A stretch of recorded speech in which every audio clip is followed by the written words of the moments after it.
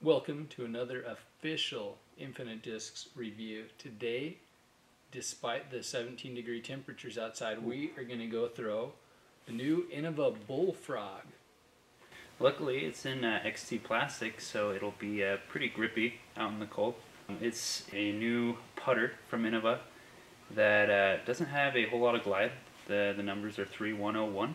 I'm really curious about that to see if we notice it not gliding because that seems like Like no glide, like Yeah. it doesn't even throw. So it's got a beaded bottom, kind of like the, the whale, and like a flat top like the Aviar3. Yep. I I love the feel of the XT plastic, especially in the cold. We'll see how it works for my putting, but I, I I putt with the Myth, and the bottom of this feels exactly like the Myth. The top is it's a it's a, not as deep, and the top is completely flat. So I think it'll work good as a throwing putter, and uh, I like it for putting as well. Feels pretty good for forehand too, so we'll give it a shot. All right, we've made it out here to our local testing grounds where we did the tomb review, but now it is winter instead of uh, fall. And instead of the tomb, it's, It's with the, the Innova Bullfrog. Bullfrog, Yeah. which is uh, kind of a similar disc, as in they're both kind of uh, shallow putters, but they, they really fly differently. Okay, that throw there, you could see, I thought that was just right. I was going to park it, but I'm 40 feet short. And then my putt, Didn't even come close. yeah, Yeah. yeah, it, uh, it might also be the 17 degree temperatures that True. didn't help. But no, Yep. the, the disc in the cold was really stiff, which it doesn't feel like that inside. So um, that's something to consider with the poor throwing by one of us. Yeah, especially on this hole because this being the hardest hole on the course, I didn't even put it very close. 166 feet. So here I am trying to forehand. I kind of flipped up and stayed left on me, but you know, mostly a pretty straight flight. Yep. Uh, from a putt from circle's edge, yeah, that one Yeah, uh, looks like he tried to didn't work. I, I really make up for that low glide. Yeah, something like that. I, I like the feel of the feel of it for a putter. It just uh, did, didn't work for me this day. I feel like my putt has a little more speed than Alan's, so I don't have to have as much glide on my putter to keep it up. That uh, is probably a good assessment. That is a great shot there. Yeah, that worked out. I feel like I had enough power on it to where it didn't have a whole lot of fade, so I was go. able to just aim straight at the pin. Forehand again, you can't really see the flight here, but uh, it's It turned over. turned left and stayed left, and here I am putting from The uh, cattails. yeah, Yeah. I'm pretty close here. I'm glad that Alan turned his back Yeah. so I could putt here and you know feel One thing that really bugs me in tournaments is when you're just going to putt and then people do stuff like that, because then I actually think about it. but that was a great, great. yeah. Look at this review. As Great As you can see, the XT plastic, even when it's 14 degrees outside, sticks to chains. All right, giving in this a forehand here. Let go. Oh, of go it. in, go in, go in. Let go of it pretty flat. Ooh. And it, still faded. So like I feel like it has at least one fade. Yeah. Uh, her back, I thought that was about right, but Yet oh, again, another low shot that just went into the ground. well short. But look at this. Ooh. Yeah, who got the birdie now? Look how happy he is. He's on the boards. And here I go with a uh, a miss. Uh, I am not very satisfied with that, obviously. So, how do you like the, the bull frog for forehand throws? Felt like it felt pretty good. It feels really similar to the the Aviar3, AviarX3 that I usually throw. So I, I felt like it was pretty comfortable for my, my forehand. Okay, this is a longer hole, about 270.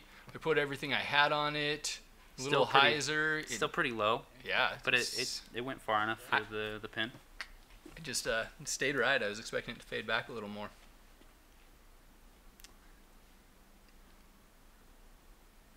Ended up a little short, but I felt like I had the control.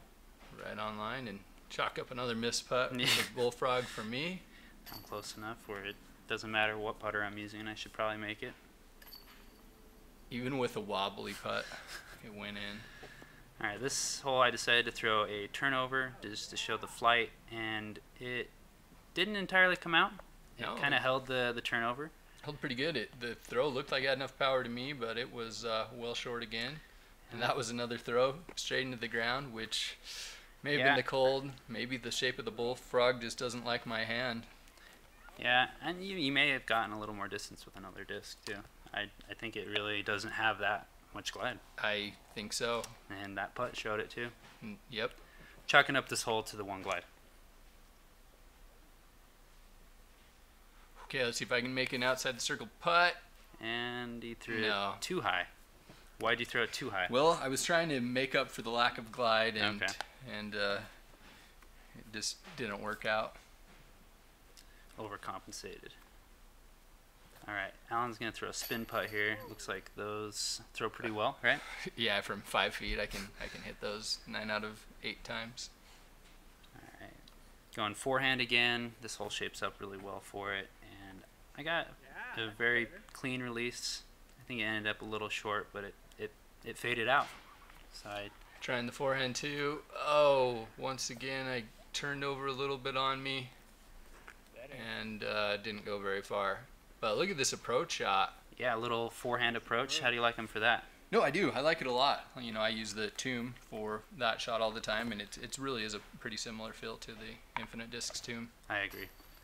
And uh, yeah, that that putt ended up going in, which I was very happy with. So, and uh, I made my tap in too for my there. par. Here's the second hardest hole on the course. You can tell by uh, how far away my disc landed. Yeah, here here I go. Two two ten is a hard distance. I thought, you know, just go nice and straight right to the basket, but and instead he's I over by me. faded out and well short. Yeah, this jump putt, I I usually put quite a bit of spin, and it didn't even stay high enough to, to give it a run. Yeah, that one that one I tried. I think putting a little anhyzer putt on it, but still failed. But we can we can work together and Yep. accomplish our Go Team Infinite. parring a 210 foot hole. This one I trusted over the OB to fade back, and it did.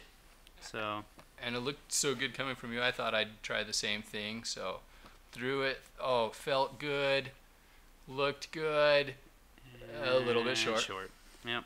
feel So- like that's the that's what your throws were. Yeah, the story of the the bullfrog is that if you want a disc that's not going to glide a lot, this is it. Yeah. It's probably good for wind, for keeping you from, you know, if you have your form where you like putting your normal power on, but you don't want it to go as far.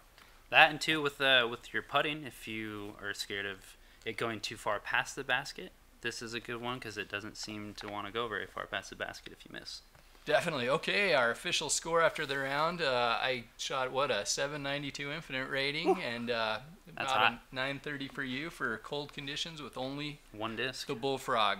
I think I do like the Yeah. bullfrog overall. Yeah, and the XT plastic feels great. It was decent compared to other plastics in the cold, and uh, I don't know. I felt like the flight numbers were, were pretty dang accurate. Yep, I agree. At first, I, my initial thought was a glide of one it's more than that, but I can't think of any disc that has less glide. So I think one is is indeed accurate.